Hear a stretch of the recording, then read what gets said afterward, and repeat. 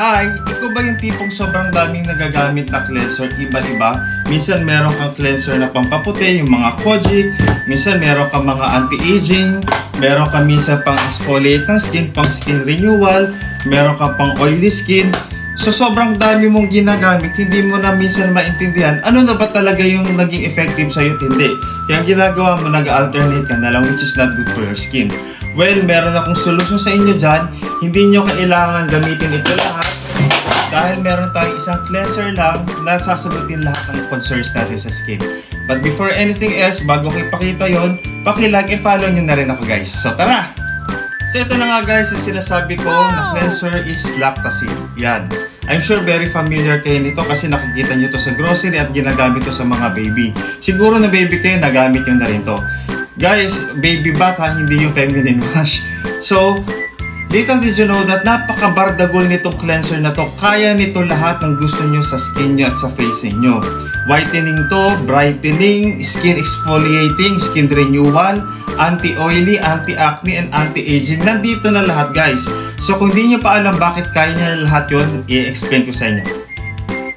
Okay, first question, bakit siya nakakaputi o nakaka-brighten ng skin ang lactacid?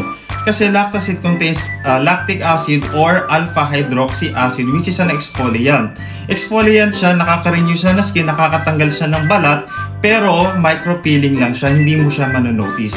So, ibig sabihin, kung exfoliant siya, nakaka-brighten talaga siya ng skin, nakakaputi siya. And also, if you're going to research sa internet, yung benefit ng lactic acid sa skin, makikita nyo doon talagang particularly beneficial siya sa mga acne scars, mga pinagtuyuan ng pimples kung gusto mong mawala yon and generally kung gusto mong pumuti yung face mo. So second question, bakit sa maganda sa may mga pimples and acne? Kasi nga yung lactic acid is a skin renewal o exfoliant, tinatanggal niya ngayon yung clog pores mo, tsaka pinupurge out niya talaga yung mga dumi sa skin mo. And also, yung lactic acid is a natural antibiotic which has a natural antimicrobial property o antibacterial property. So talagang nililinis niya yung mga clog pores, yung mga dumi mo sa skin. And also, bakit siya anti-aging? Kasi nga, nakaka-renew siya ng skin, natatanggal ngayon yung mga rough skin mo, na-smoothen out niya ngayon yung mga fine lines, at saka meron siyang milk proteins na talaga nakaka-firm ng skin. So kung ikaw guys, yung katulad ko na bili na bili ng mga kung ano-anong cleanser, gastos ng gastos, itigil nyo na yan guys.